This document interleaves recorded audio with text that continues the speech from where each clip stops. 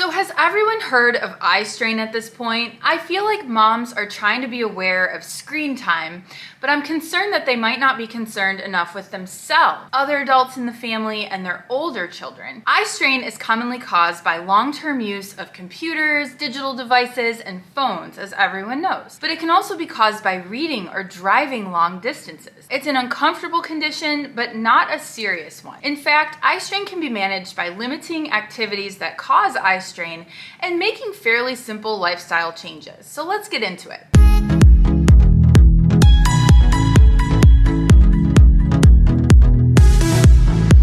Welcome back to Eye School with me, Dr. D, where I teach you about products and treatments related to dry eye syndrome and eye beauty so you can have healthy, beautiful, comfortable eyes. And give a little love tap on that subscribe button to stay up to date with all the latest eye tips and tricks I have for you. What is eye strain?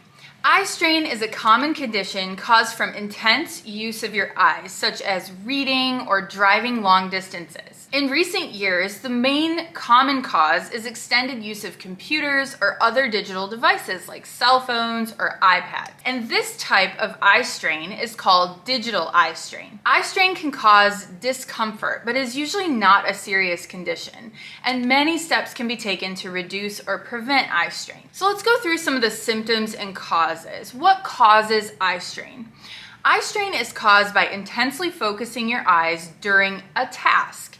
And these tasks can include driving, reading, computer and cell phone use, or even extended periods of detail work like sewing or writing. Eye strain is basically tired eyes, and it's sometimes called eye fatigue. Doing these chores or tasks in dim light can intensify your eye strain. People with prior eye conditions like uncorrected vision or muscle imbalances are at a greater risk of eye strain as well. And it's also true that stress and fatigue in your life can also contribute to you having more eye strain. Now, digital eye strain has several distinct causes. Researchers have found that when people use computers or other digital screens, they actually blink less. And this leads to dry eyes, which can contribute to eye strain. Digital devices can also cause eye strain because of their glare or when there's poor contrast between the type or the lettering and the background. Also, an improper distance from the screen or poor lighting can also lead to eye strain. So what are some common symptoms of eye strain?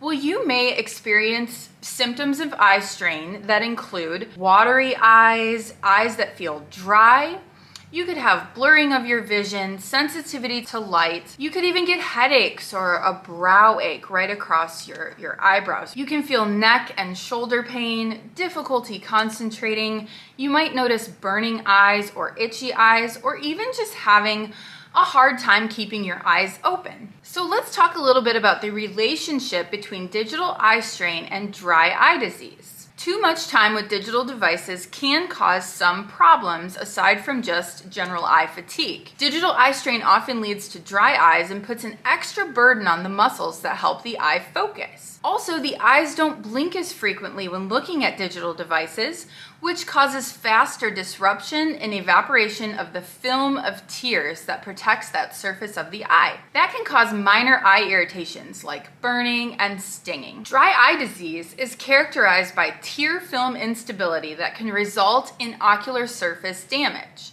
Patients with dry eye disease may experience ocular pain or discomfort and visual disturbances that can negatively impact not only your quality of life, but your vision as well. Increased use of digital screens for work, communication, and entertainment, especially during our most recent pandemic, can contribute to dry eye. Extensive cross sectional studies have shown that digital screen use duration is associated with an increased risk of severe symptoms and clinical diagnosis of dry eye disease in adults. Smartphone use duration has also been found to be greater in school-aged children with dry eye disease than those without dry eye disease. A commonly accepted hypothesis for the relationship between use of digital screens and dry eye is that digital screen use changes your blinking dynamics and it leads to ocular dryness. The National Library of Medicine found evidence that digital screen use is associated with dry eye disease, that digital device use alters blinking dynamics, and that dry eye affects mental health and work productivity in digital screen users. Helpful prevention and management strategies for dry eye disease exist for those who use digital screens. So let's talk about how we diagnose eye strain. Eye strain is diagnosed during a visit to your eye care provider's office.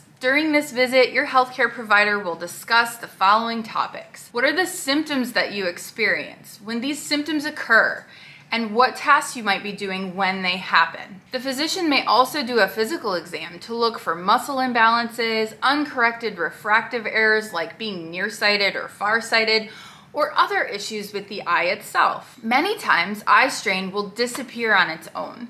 In those cases, you do not need to see your doctor. Eye strain is usually treatable with some simple lifestyle changes and just awareness of the tasks that irritate your eyes. However, if your eye strain is severe or long term, you should seek medical attention to rule out any more serious conditions. Now, let's talk about how to manage and treat your eye strain. Eye strain is usually treated with lifestyle changes. These may include wearing glasses for certain activities like reading. Taking breaks from your reading, writing, and driving can also help reduce eye strain. Other tips to reduce eye strain include using lubricating eye drops. Adjust your lighting based upon your activity. Use a humidifier in your work environment. And if you do smoke, consider quitting. Tips to reduce digital eye strain include following the 20-20-20 rule. This this rule says to take a 20 second break to view something 20 feet away every 20 minutes. Some other tips for eye strain include choosing screens that tilt and swivel, regularly cleaning your screen as smudges can reduce contrast. Use a glare filter on your screen, reduce glare on your screen through proper lighting,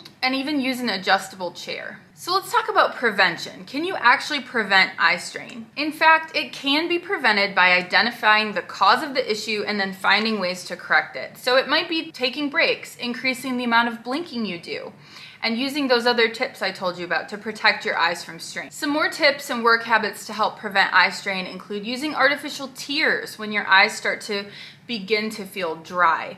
I also actually tell my patients to use artificial tears proactively instead of reactively. So if you're going to be on the computer and that's when your eyes feel particularly dry, it is a good idea to use your artificial teardrops every two to three hours while on computer. You can also apply a warm wet washcloth to tired eyes. Use a humidifier even when your eyes don't feel dry. Now there are some risk factors for developing eye strain and those can include working in front of a computer or screen for long periods of time, doing tasks that require the eyes to focus for extended periods of time, having dry eyes already, or having muscle problems within the eye. Eye strain can be irritating, but it's rarely more than just a nuisance. With proper eye care and work habits, you should be able to successfully and quickly reduce eye strain. Let me know about your experiences and questions about eye strain and make sure to comment with those below.